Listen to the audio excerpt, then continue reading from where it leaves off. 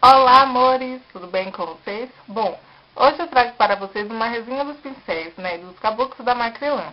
Se você quer conferir, é só continuar assistindo esse vídeo.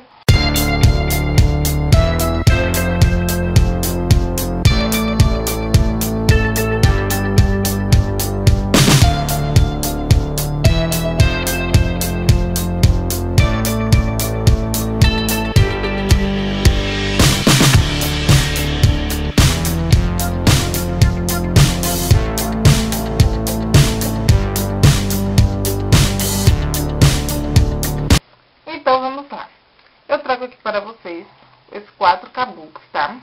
O reto, o, o cônico, o dual fiber e o angular.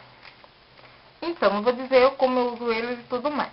Já digo que são ótimos, né? Eu tava muito afim de comprá-los e quando eu comprei, fiquei louca para usá-los. Quando usei, amei, apaixonei neles. Eles são os famosos BBB, bom, bonito e barato. E eu super indico para vocês. Vou começar com o Dual Fiber, ou, desculpa, o Kabuki reto, que é o B115. Ele é, tem do cabo branco e do cabo preto. Eu decidi comprar o preto porque eu pesquisei para saber, né, a opinião das outras pessoas em relação a esse daqui, né, que é o profissional, vamos dizer, né, da, do, da Macrylan, a linha profissional, do, do cabo preto.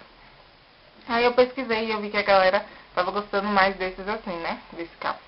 Aí eu resolvi comprar. E vou dizer que eu super adorei. Não testei o outro, o do branco, pra dizer se é melhor ou não, mas eu tô amando esses daqui.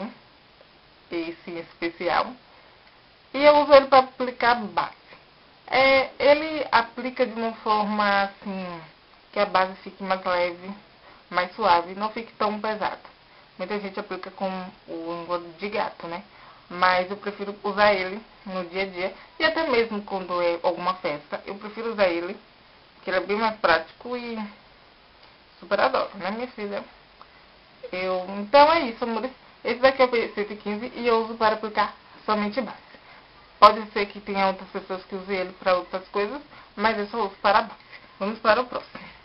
Que é o angular. Angular é pincel Kabuki angular. Esse é o B117. Ele é nesse formatinho chanfrado aqui. E eu uso ele para fazer contorno. Eu acho que ele super encaixa aqui, abaixo do ossinho.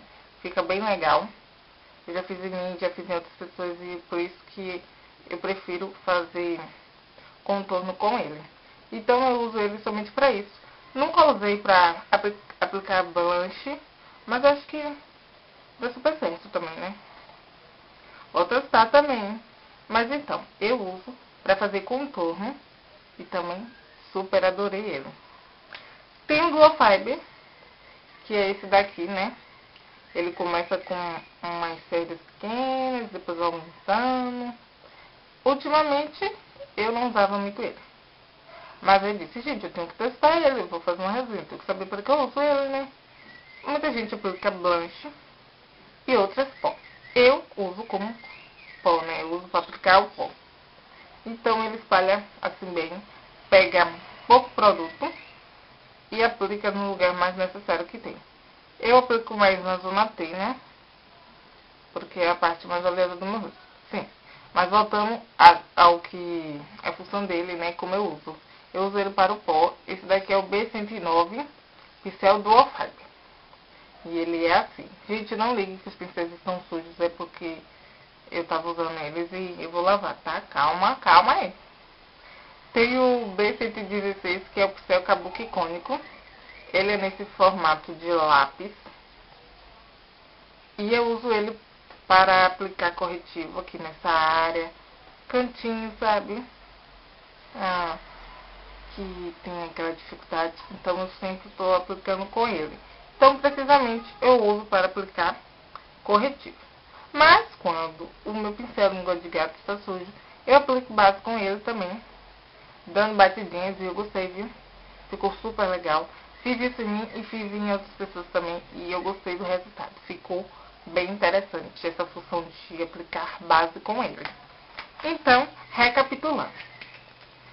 É o angular, é o angular, que é o B117. Eu uso para fazer contorno. Tenho o B115, que é o reto. Eu uso para aplicar a base. Tenho o Duofy do B109. Eu aplico é, pó com ele, mas você também pode estar aplicando é, blanche. Ou até qualquer outra coisa, né? Cada um faz uma coisa, né, gente? E tem um cônico que eu uso para aplicar corretivo ou até mesmo a base.